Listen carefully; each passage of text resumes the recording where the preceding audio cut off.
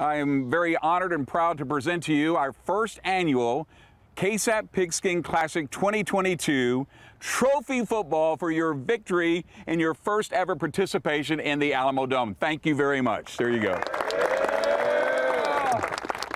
Well, we, we appreciate that. It was a fantastic game. KSAT did an amazing job with it, and we're just happy to be a part of the first one. Yeah, that's our visit with Judson to make sure the game ball presentation was done right. The Rockets following their 46-43 overtime victory against the Johnson Jaguars, part of the first annual KSAT Pigskin Classic in the Alamo Dome to kick off the 2022 season.